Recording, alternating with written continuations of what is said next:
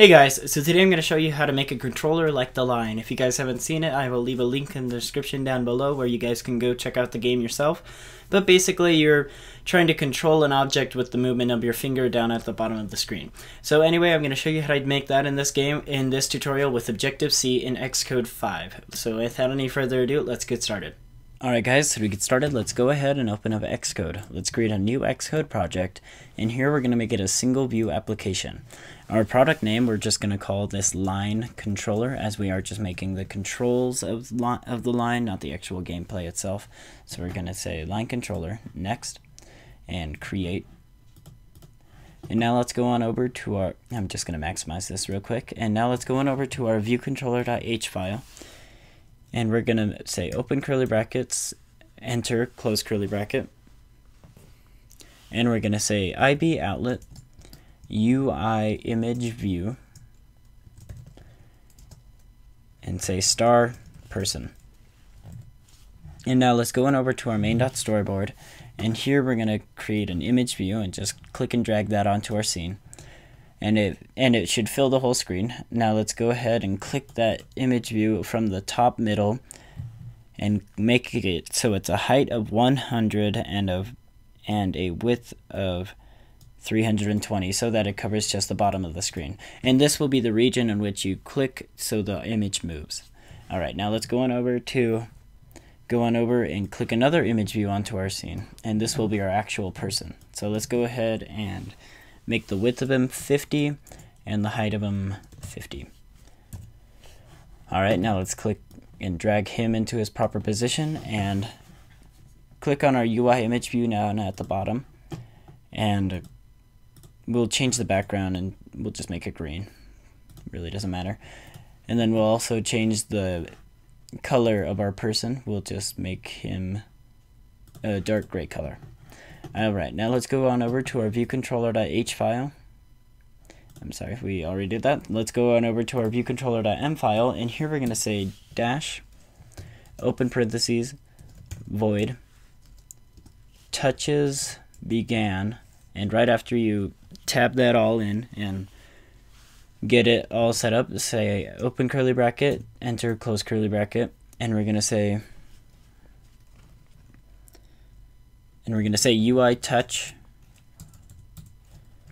UI touch star touch equals event. Sorry open bracket event all touches. And close the bracket. And right after that say any object.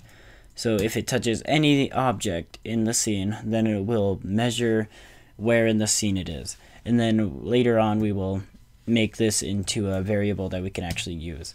So let's just say CG point, say CG point, and this will be location equals equals open bracket say touch all uh, touch location in view and it'll be touch touch dot view touch dot view and end it with a semicolon. So what this is doing is it's actually changing this into a CG point, which will be something that we can actually read, which the computer can actually read and set it onto our scene properly. And now let's go on over and just say if, so if tab, our condition will be location.y is greater than or equal to, and let's go on over to our main.storyboard, and here click on our UI image view, and we're going to make go to our size inspector right over here, and we're going to change the origin. So basically the origin is where where the points are being measured. So if it's clicked down here, it's measuring from down here, and if it's clicked right here, it's clicking right it's measuring from right there. So we want to change it to measure from right there. So this will be the point in which in which uh, once you go down below there, uh, once you click on, uh, on this region, then the UI image view will change. Now let's go on over to our view controller.m file and make sure to copy the y value that we have right here. So go back over to our viewcontroller.m file and say if location.y is greater than or equal to, and just paste the 468 or the y value that you had in your last in the main in the main.storyboard. And let's go on over and just change the statements. So let's say person and let's put them in, him inside brackets and say person set center and we will make the CG point so CG point make our x value will be location dot x and our y value will be person dot y. I'm sorry, person dot center dot y. And then end it off with a semicolon.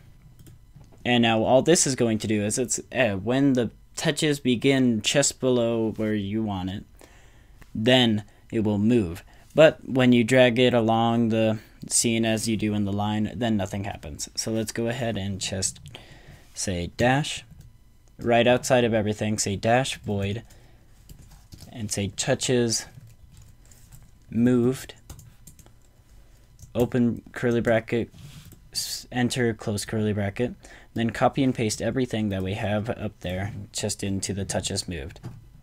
Now you want to go over to our main.storyboard and here we're going to open up our assistant editor and connect our viewcontroller.h file. So go ahead, go up here and click on viewcontroller.h and connect our person with our person image view down here.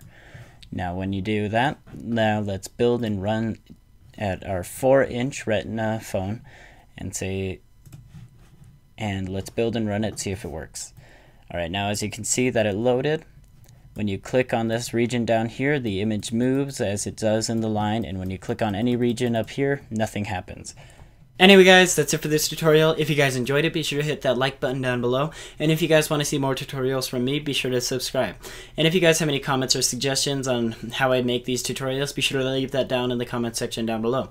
If you guys want to know more, about me, be sure to check out my website and check me out on Twitter. Anyway, that's it for this tutorial, and I'll see you in the next one.